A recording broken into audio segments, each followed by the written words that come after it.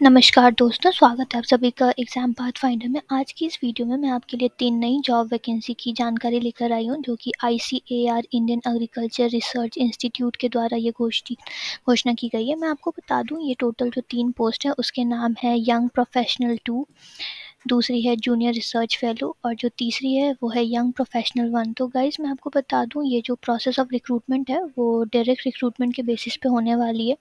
साथ ही आप यहाँ देख सकते हो, ये जो तीन पोस्ट है, तीनों के अपने अपने एसेंशियल क्वालिफिकेशन है। जो पहली पोस्ट है हमारी यंग प्रोफेशनल टू उसके लिए जो एसेंशियल क्वालिफिकेशन है, वो ये है कि आपके पास एमएससी की डिग्री होनी चाहिए माइक्रोबायोलॉजी में, या फिर प्लांट पैथोलॉजी या फिर बायोकेमिस्ट्री या फिर साइकोलॉजी या फिर लाइफ साइंसेस गाइज़ यहाँ पे आप देख सकते हो यहाँ पे डिज़ायरेबल आपके पास एसेंशियल क्वालिफिकेशन भी होनी चाहिए। वो ये है कि आपकी रिसर्च एक्सपीरियंस होनी चाहिए माइक्रोबियल कल्चर को हैंडल करने की।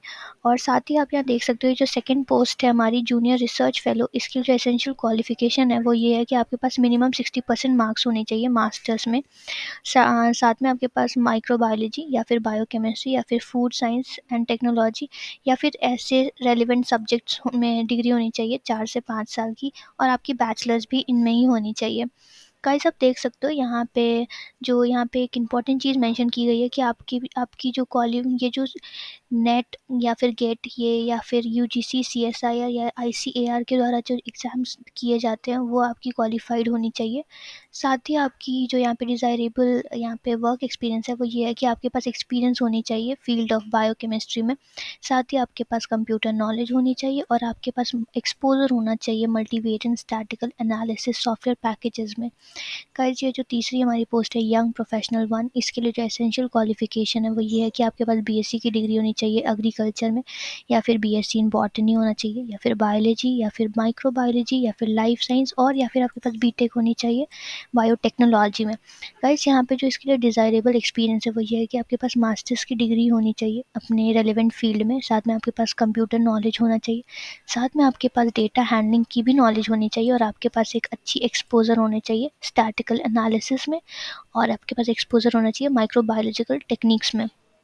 गाइस जब आप यहाँ नीचे आओगे, आप यहाँ पे देख सकते हो, यहाँ पे आपके लिए एक ईमेल एड्रेस आपको मेंशन किया गया है।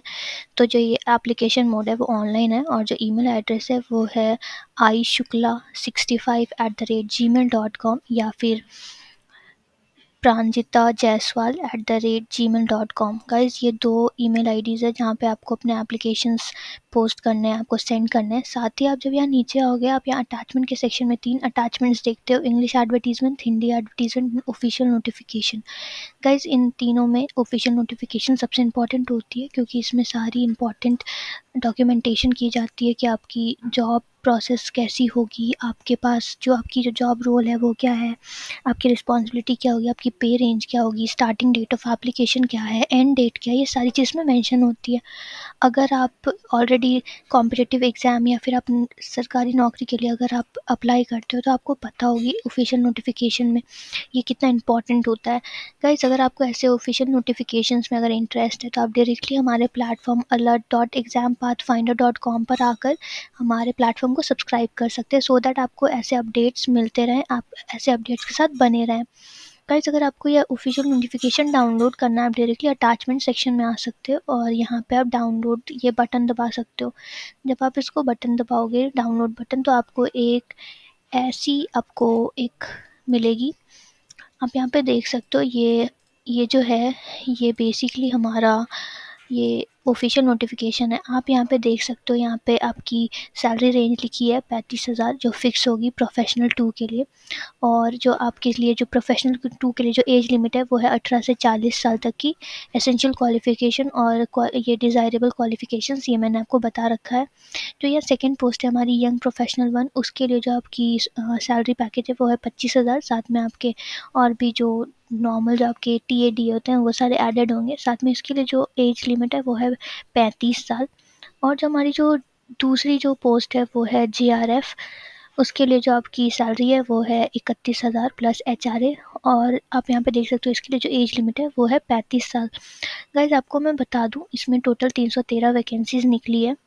और साथ ही आपको मैं ये भी बता दूँ, अगर आपको कुछ भी इससे रिलेटेड अगर कुछ भी इन्फॉर्मेशन चाहिए या फिर कुछ भी तो आप डायरेक्टली इनकी वेबसाइट पे भी जा सकते हो। पर आपको अगर सिंप्लीफाइड तरीका चाहिए तो आप डायरेक्टली हमारे प्लेटफॉर्म पर आकर यहाँ पे फोरम बटन को दबा सकते हो।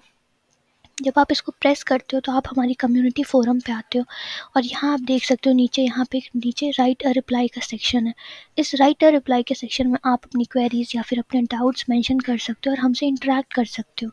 गाइस ये प्लेटफॉर्म सिर्फ़ आपके हेल्प के लिए बना गया है तो आप इसे ज़्यादा से ज़्यादा यूज़ करें, इसका ज़्यादा से ज़्यादा फ़ायदा उठाएँ और साथ ही अगर आपको कुछ भी आपको वीडियो देखते वक्त अगर कुछ इशू आती है तो ये लिंक मैं डिस्क्रिप्शन बॉक्स में डाल दूँगी। ये हमारे प्लेटफॉर्म के लिंक है। आप डायरेक्टली वहाँ पर टैप करके हमारे हमारे कम्युनिटी फोरम पे आ सकते हो। साथ ही गाइस मैं आपको बता दूँ, अगर आपको ऐसे अपडेट्स चाहिए तो आप सब्सक्राइब कर सकते हो। और गाइज़ अगर आपको ये वीडियो हमारी अच्छी लगी तो प्लीज़ इसे लाइक शेयर एंड सब्सक्राइब करें। And thank you so much guys